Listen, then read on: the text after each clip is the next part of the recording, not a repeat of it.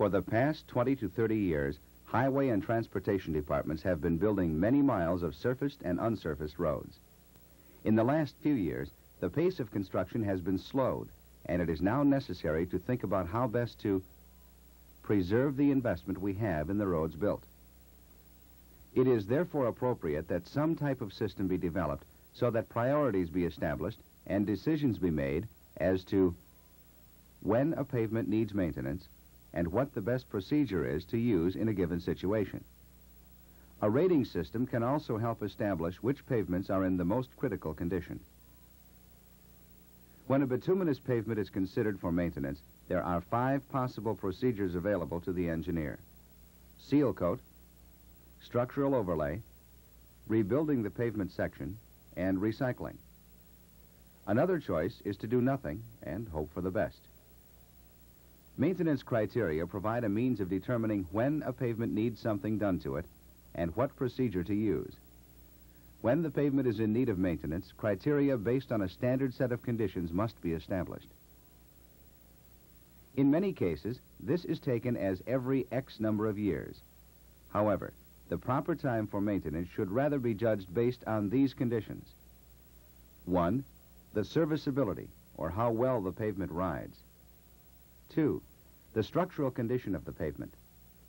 This can be evaluated using the amount and type of cracking and rutting. Three, the surface condition of the pavement. And four, the alignment, width, etc. of the roadway, which will help establish whether major rebuilding will be done in the near future. This presentation focuses on a surface condition rating system which can be used to establish the need for a seal coat or surface treatment. This rating form provides a list of the items considered for defining surface condition. The numbers 1 through 8 show the items to be rated. The factors are kept separate because their causes are different and independent. For instance, the progression of weathering can occur with no surface wear. It is therefore not considered appropriate to combine these items. The types of pavement deterioration can be separated into traffic-associated, or wear, and non-traffic associated, or weathering. Traffic-associated distress can generally be observed in the wheel path, whereas non-traffic associated distress can generally be observed across the pavement and be most significant between wheel paths. Surface conditions or deterioration due to traffic are general structural condition and wear, which includes abrasion and bleeding. Bleeding of a bituminous pavement usually is observed in the wheel path, which is why it is included under the term wear.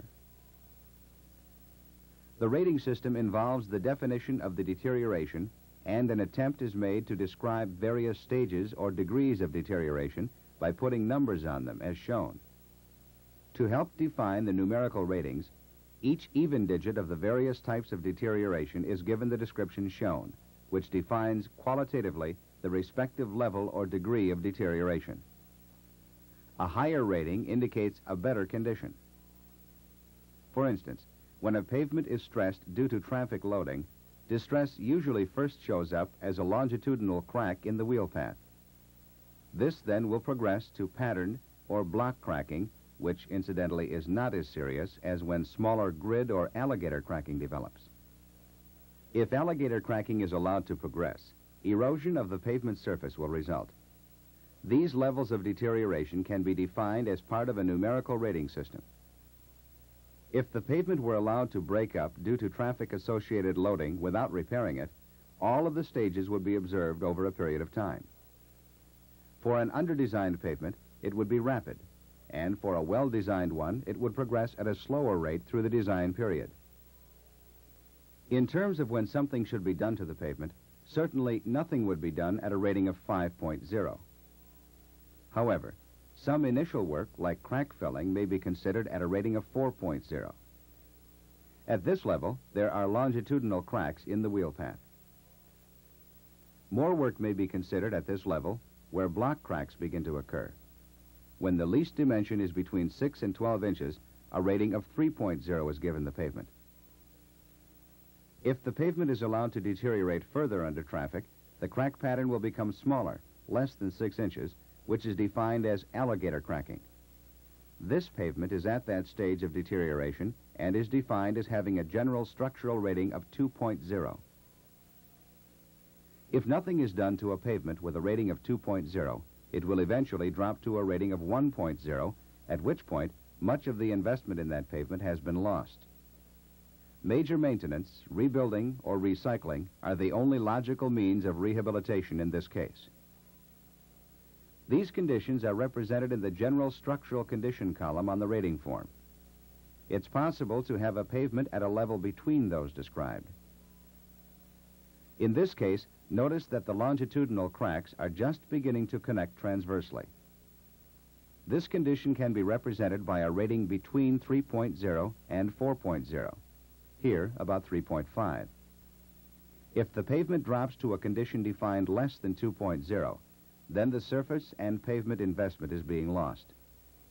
By defining and rating a system of pavements periodically, it should be possible to preserve this investment. The next two conditions considered are wear and weathering. Traffic wear, which shows in the wheel path, can be considered deterioration due to scraping by tires, whereas weathering, which shows between the wheel paths, is defined as deterioration due to the elements, wind, water, sun, and so on. When considering wear or weathering, the pavement surface will look different and show deterioration in a somewhat different way, depending on whether the surface is the original bituminous mat or whether it has been seal coated or surface treated. The condition of the seal coat or surface treatment becomes the important factor for that surface. Traffic wear is defined as deterioration due to the abrasive action of tires or traffic on the surface. Studded tires have been shown to accelerate this type of deterioration. Wear shows up as either 1. Erosion of the sand matrix resulting in coarse aggregate protruding, hard aggregate, or 2. Wearing down of the total mix when the coarse aggregate is relatively soft. The first case is most prevalent because usually good coarse aggregate is used. The second case shows up as an increase in rut depth. For the case when there is relatively hard coarse aggregate, these conditions can be observed in the wheel paths as deterioration progresses. First, the new surface is uniform across the pavement, both in the wheel path and between, a rating of 5.0. Then, the color and outline of the coarse aggregate shows in the wheel path more than between, indicating that the asphalt has worn off the aggregate surface, a rating of 4.0. Next, the coarse aggregate protrudes up to 1 16th of an inch, indicating that the sand matrix or mortar is being kicked out or worn away by the tire action, a rating of 3.0. Then the coarse aggregate protrudes more than 1 16th of an inch, indicating that the sand matrix has continued to be kicked out, making the coarse aggregate susceptible to being abraded out by additional tire action, a rating of 2.0. Eventually, more than 20% of the coarse aggregate is kicked out of the wheel path, indicating that the sand matrix has been so eroded that it can no longer hold the coarse aggregate, a rating of 1.0. There may be all levels of conditions between those described. These intermediate conditions can be indicated numerically by using ratings such as 2.6 or 3.2. Here is a relatively new plant mix overlay with aggregates showing more in the wheel path, but not protruding. The traffic wear rating is 4.0. This is an unsealed surface mix with the coarse aggregate showing and protruding more than 1 16th of an inch in the wheel paths. The surface wear rating is 2.5 where not sealed and 3.8 where sealed because the sand matrix has been replaced to some extent. This is an unsealed surface mix with the coarse aggregate showing and protruding much more than 1 16th of an inch and with coarse aggregate kicking out. The wear rating for this pavement is 1.0. These examples have shown some levels of surface wear due to abrasion of a pavement surface that has not been seal coated. Another effect of tires on a pavement is that of pumping asphalt to the surface of the pavement, eventually causing a bleeding condition. This effect has been included under traffic-associated conditions because it is caused by tire action and can be observed in the wheel paths. It would occur in pavements that have relatively higher asphalt contents than those on which wearing away or abrasion of the surface would be observed. The descriptive terms in this table are used to describe the degree of bleeding or progression of bleeding. On the left is a chip seal, which is just starting to get rich in the wheel path. However, the aggregate still shows and protrudes. The rating is 3.5. On the right, the seal is bleeding, but the aggregate shows some. The traffic wear rating due to bleeding in that area is 2.0. In this example, there is a chip seal in which the asphalt is filling the surface between the seal aggregate but has not covered the aggregate. The wear rating due to bleeding is 3.5 on the right and 2.5 on the left. This road has a serious bleeding problem which would result in hydroplaning during wet conditions. The asphalt has bled up over aggregate or aggregate has been eroded off, leaving continuous excess asphalt. The bleeding for this pavement is 1.0. Some maintenance is certainly required for this situation. In summary, pavement surfaces can be put into three categories for purposes of rating relative to traffic surface wear or tire action on a pavement wheel path. Tire action can cause either abrasion, eroding out, of surface material, or bleeding, excess asphalt, on the surface. When either of these conditions gets to a low enough level, some type of resurfacing is necessary. When judging the degree of abrasion, the observable items will be somewhat different, depending on whether the surface has been previously seal coated or not. Rating of sealed surfaces for wear is the same as for weathering of sealed surfaces. Before making the wear rating, the rater must indicate what situation is being rated. Whether, 1, there has been a seal coat or not, and 2, if the surface is tending to bleed or is rich. This information will indicate what type of corrective measures are appropriate, along with which descriptive ratings to use to judge the degree of deterioration. So far, we have looked at deterioration of a pavement surface that is associated with tire abrasion on the surface or with tire pumping action, which shows up as distress in the wheel paths. In addition to these effects, heat, water, and wind can deteriorate a road surface. These factors will act on the pavement uniformly across the surface, except in protected areas.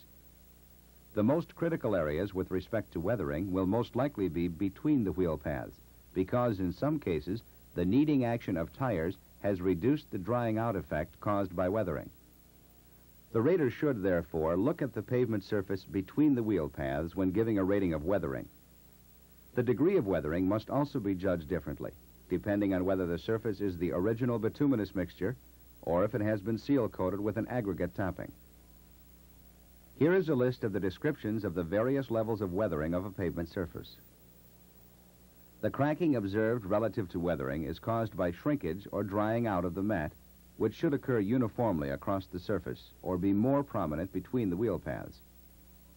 This condition may not be as serious in the wheel path because the tire action might actually decrease the drying out effect. Here are some examples of weathering rating levels. This is a new pavement, which has a uniform color across the surface and thus has a weathering rating of 5.0. Here is an area near a center line which illustrates the condition where the aggregate shows outside the wheel path due to weathering. However, the aggregate does not protrude, and therefore the weathering rating is 4 plus. The sand matrix has been eroded away outside the wheel paths of this surface. The aggregate protrudes slightly, yielding a weathering rating of 3.5. Here, the aggregate is showing across the whole pavement and protrudes somewhat, especially between the wheel paths, but not as much as 1 16th of an inch. The weathering rating is therefore 3.0. This is an example of shrinkage cracking between the wheel paths, indicating drying out of the mat. There is also aggregate protruding uniformly across the wheel path.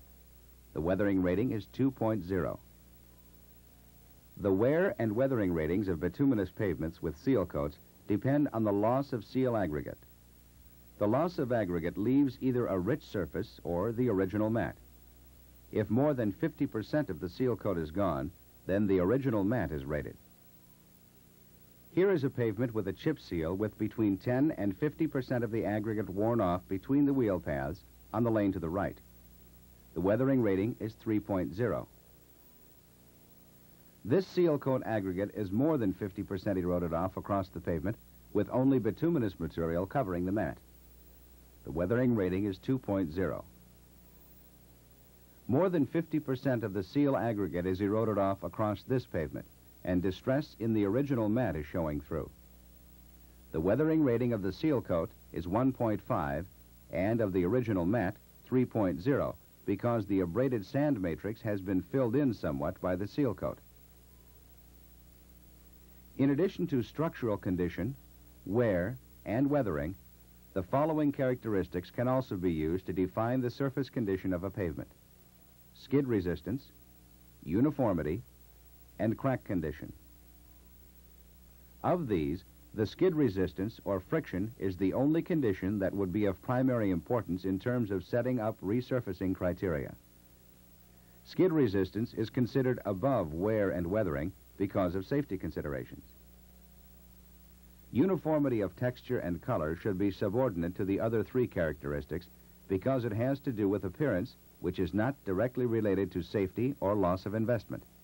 However, if funds are available for resurfacing a pavement which rates low on appearance, resurfacing may be appropriate. Crack condition ratings could be used to determine if crack filling or repair might be appropriate before or instead of a seal coat. The considerations and methods of rating these characteristics are given so that a complete picture of the surface condition can be presented in rating form. This gives the maintenance engineer information for making decisions with respect to suitable surface maintenance. If the skid resistance or friction of a pavement is low, causing a significant increase in accidents, something must be done to the surface of the pavement no matter what the other surface condition ratings are. The low skid resistance may be due to an excess of asphalt on the surface of the pavement or polishing of the aggregate surfaces. A number of agencies now have skid trailers that make it possible to obtain a measure of the skid resistance by a physical test yielding a number that could be used to rate the pavement. However, there is little agreement as to what level skid number a pavement should be resurfaced. It is hoped that with the amount of work being done in this field, more universal criteria based on skid number measurements can be developed. If a usable system employing a skid meter has not been developed by an agency, a rough visual measure of skid resistance is suggested using these descriptions. There is no sure way of describing the level of friction for each rating. The only way is to observe the relative skid resistance of many pavements and thereby establish experience as to the ordering of the levels of skid resistance or friction. The descriptions of coarse and gritty are only general in nature. If coarse aggregate and fine aggregate are slightly exposed at the surface and would be in contact with the tires, the coarse description is used. The good rating is used when the exposed aggregate is relatively angular, and the fair rating is used when the aggregate is more rounded in nature. The gritty description refers to a sandy texture which, again, would be classified as good if the particles were angular and fair if the particles were more rounded. The aggregate descriptions slightly polished and polished refer to the condition when a sheen starts to develop on a relatively hard aggregate due to the scrubbing action of tires. This would not be as bad as a bleeding condition, rating 1.0, because of the greater likelihood of hydroplaning on a bleeding pavement. The actual range of skid resistance as measured by a skid trailer would probably overlap the descriptions presented. However, if reliable criteria have not been developed based on the skid number. The descriptive ratings can be used to give at least a general indication of skid resistance of the surface. One of the reasons given for seal coating a pavement has been to cover up a pavement that looks bad because a great deal of maintenance patching and spot sealing has been done on the surface. The ratings and descriptions for this condition are shown here. A streaked appearance is generally due to non-uniform application of a seal coat binder. This pavement has just been recently seal coated and is slightly streaked. It's an example of a pavement rated 3.5 for uniformity because of the streaking. When cracks are filled, the filler is usually darker than the rest of the surface and shows up when one looks down the road. Here's an example of a uniformity rating of 3.0 because of crack filling.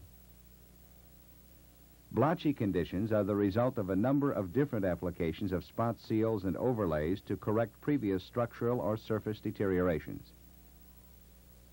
A rating of this condition is made by making an overview of the road rather than by looking at one particular spot.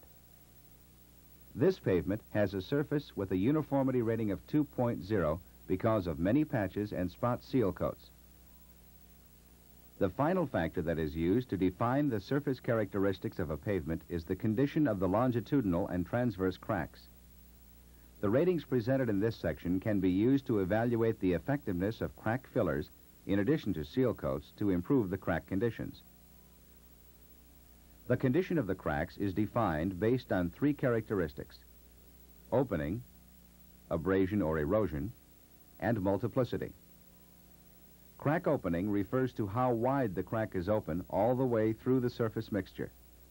If the top of the crack is worn back, this additional erosion is not added to the amount of opening. Abrasion or erosion of the crack edge is related to the amount of wearing back of the crack at the surface. These are the ratings defined relative to the edge wearing back. Multiplicity refers to how much additional cracking is associated with the cracks. The multiplicity associated with transverse or longitudinal cracks may be due to brittleness of the surface mixture and lack of continuous support of the surface. The lack of support is caused by weakening of the underlying material because of infiltration of water into the crack. To represent multiplicity conditions, ratings with these descriptions are used. The crack shown here is only open slightly more than a hairline, has very little abrasion of the edge, and there are no associated cracks. The ratings for opening, abrasion, and multiplicity are therefore 4.0, 4.5, and 5.0 respectively. These three numbers indicate a crack which is in generally good condition. This crack has been filled in the background, but not in the foreground. Where it has been filled, the ratings for opening, abrasion, and multiplicity are 5.0, 5.0, and 5.0 respectively.